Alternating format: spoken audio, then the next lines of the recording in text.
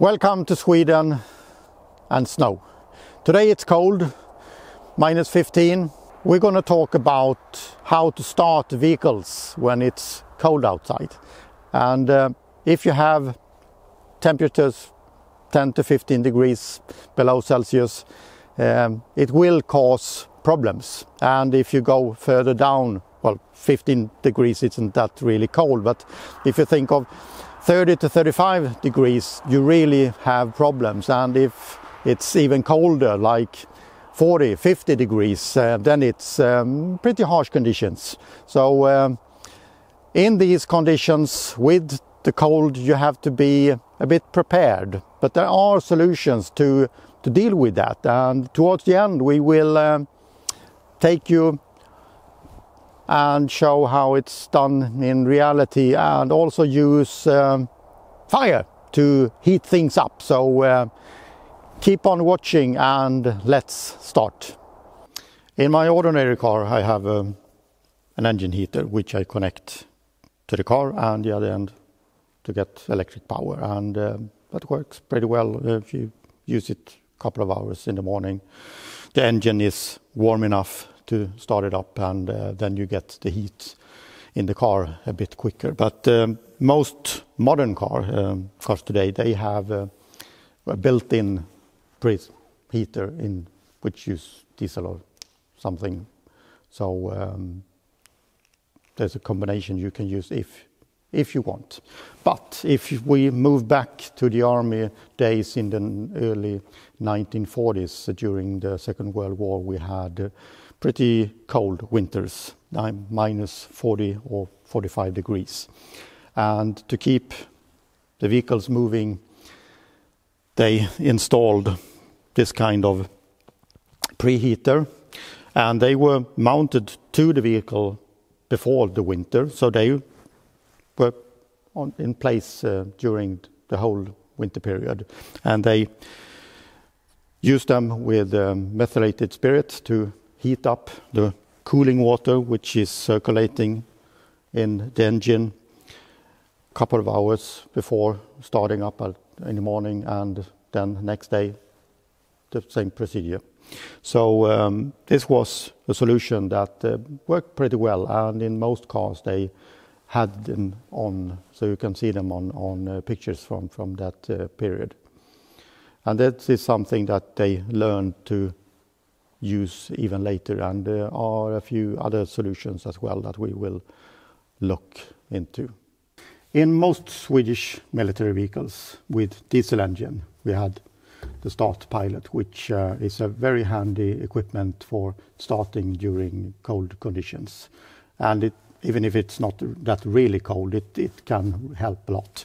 And to use it, you need to have these small bottles with um, uh, ether to start, easy, easy to start. And uh, you put them in here, and with this needle, you puncture puncture them so with the container, in, you punch it, you get a hole and it drips out, and then it's very important that you need to crank the engine before you start pumping. So you crank the engine and then you pump this into the cylinders. And with this really easy to start ether, it starts and then off you go. If you use this and pump without cranking the engine, you will fill one cylinder, and it ha happened that the engine, well, it blows and then it's gone. So you have to do it crank and then pump and start. It starts. So very easy to have on diesel engines. On the bus previously, we had the old um, methylated spirit blower, which um, just used during the wartime and years after that. And then later on, these came, which is more effective, and they are connected in the same way with hoses to the same type of connectors that have been used for eight years and um, still are in, in use. This is um, a heat exchanger. We have cooling water in the system, so you connect it to the cooling water on the vehicle, and then you use this kind of kerosene uh, heater. Put it there, and when the temperature is enough, you have to check it on, on the meter in, in the car, and uh, then it's just to start. So you preheat the water for the engine and it's uh, much easier to start. And this is a really effective equipment that was used in almost every water cooled vehicle that we had in the army from the 1950s and on onwards and they're still in use today even if different depending on the kind of vehicle and you also could have bigger ones um, and later I will show you how to use it and how to use this one in reality with the fire. If you have an air-cooled engine and there you don't have the cooling water to preheat, um, there are other solutions. Or if, um, in many cases in the Swedish Army, we had civilian vehicles that were brought, supposed to be brought into to service um, in case of a, conflict, and they were not prepared for the pre preheating system. So there you had other solutions to to use in different vehicles, and one solution is this one. Um, it's um, it's a box that you pull in under the engine or the gearbox, and you have preheated with fire and coal on the inside. So this really is hot and you have it under the vehicle and then you can cover the whole front of the vehicle so you keep the warmth on the inside.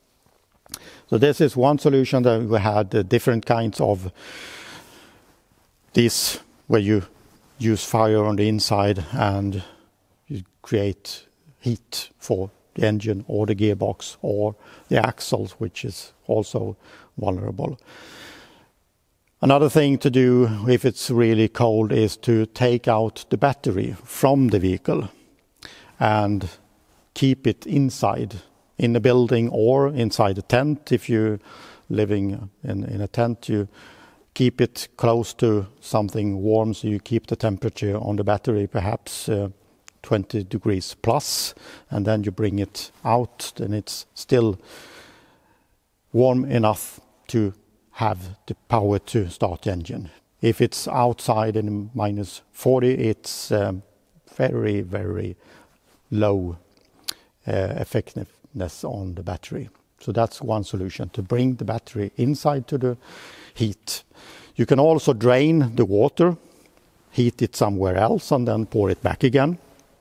You can drain the oil heat it, and then bring it back again. So there are many different solutions, and in some cases, they needed to use all of these in the same. Keep the engine really, really warm. And uh, you could also take out the spark plugs and put them on the stove so you have them heated and warm enough before you put them in the engine again and then start up. So there are a lot of different clever solutions that you can use to bring the engine to life when it's minus 30, 40, 50 degrees um, and pretty hard conditions. So with bigger engines, a preheater like this um, is not enough. We would have to use it for a week to heat this tank up. So we had different sizes of them, and they were called uh, quick quick heater, snabbmotorvärmare. With uh, the same principle, you connect it to the to the tank. You have a bigger blower to uh, heat up, and you also had a manual pump to circulate the water. But that was a bit tricky to to to use them. They were big and uh, had to carry them somewhere. So normally when we use these tanks out in the cold winter, we started them up and then every four hour or so if standing still we started the engine for half an hour or so just to circulate the water and keep them warm enough. And that was during nighttime as well. So always had during the exercises the drivers they had some sort of schedule to dress up go out minus 35 degrees. To one tank at the time, started up, run it for half an hour, and then go to back to sleep again. And then four hours later, another tour out to start them up again. And that was uh, the easiest way, even if it was quite tiring to do it, but it was the easiest way to do it. In the Centurion, you also had the benefit with the auxiliary engine that creating power for the electric system, and you could run that to circulate the the water in the whole system. Then that was also something that was used during daytime, but you don't necessarily are using the main engine all the time. But that using the engines, start them up and warming them up uh, every four hours or so, it uh, takes a lot of fuel, so you had to refuel more often during winter time. It can be quite cold up above the polar circle in Sweden, minus 30, 40 degrees, uh, but uh, normally it's not that cold in Sweden as in Soviet Union or Russia today, where they had this during the whole winter and they were prepared for this. So in the tanks, in the the fighting vehicles, they had preheaters installed inside the vehicle, so you can preheat the engine with the kit that you brought with you. So in this T55 tank, there is a preheater from here, the green thing up to here, uh, one meter long. And inside you burn diesel to heat up the cooling water that circulates within the engine and using that for maybe half an hour or so, then you can start up the engine. This is quite powerful, and uh, you could heat a normal house with this. Uh, it's uh, many kilowatts that that creates, um, and it you need it when it's minus 40, 50 degrees. So um, it's very handy to have. Not only Soviet vehicles, but also uh, some of the Western countries also had this system in the vehicles. With uh, Leopard 2, for instance, you have a preheater in the tank that you can use for cold starting conditions. So it's not only for Soviet vehicles. So now we are outside in the winter and the cold, and I've prepared this um, Hägglunds BV206 for um, preheating the engine. And uh, for the people who knows how this is supposed to work, this is not the correct bracket to fasten the preheater to the to the vehicle. But I didn't have the proper one, so I had to make my own. Uh, so it's uh, not exactly as it should be, just for the for the record. But the principle is the same cooling water in this and the hoses connected to the engine and there you have four valves that you open on the engine side and on the pre preheater side. So you connect them and then you open up the valves and you have circulation. And then you need to have uh, have some fire and this is the normal size for this one the kerosene blower that you put in there and you leave it for 15 minutes, half an hour or so, depending on how cold it's outside, and you have to check the temperature on the inside. In this vehicle, you also need to switch on the circulation pump so you circulate the cooling water in the system when you're doing this um, this procedure. Just leave it and uh, then when it's ready to start you you start the engine. In uh, some other you can have a bit bigger ones not for this one or you have the heavy artillery if it's really really cold and you have a much bigger preheater so let's begin so first you have to prepare and start this one and it take, takes a while. You pump up the pressure on the kerosene.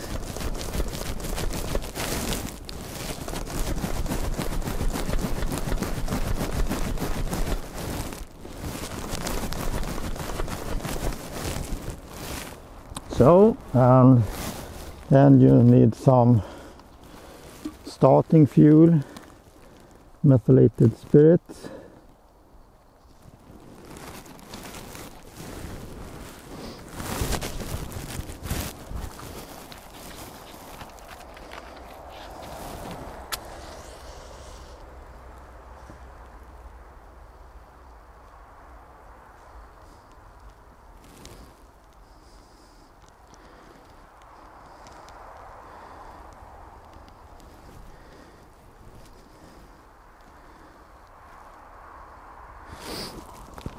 So this will, will heat up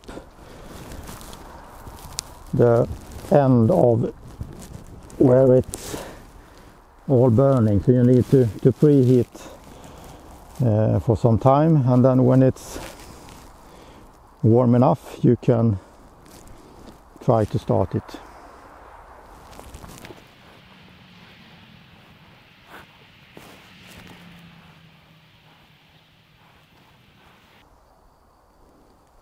So if you need to go to work early in the morning, you have to get up at three o'clock. Then you have to have some um, breakfast perhaps, and then go out in the cold and do all these preparations. And then uh, maybe one or two late hours later, you are ready to, to start the engine and go to work. Life is fantastic if it's winter time.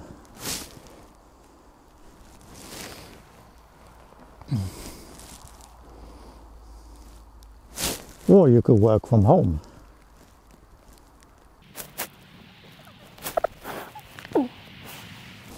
Okay, so that we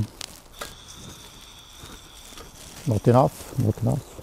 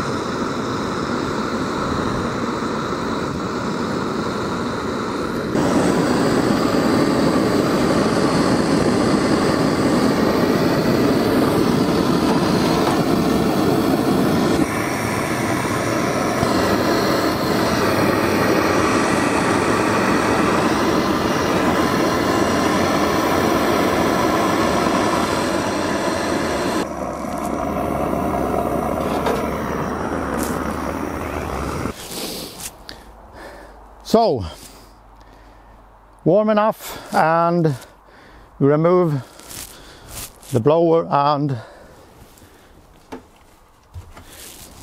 then we are ready to to start.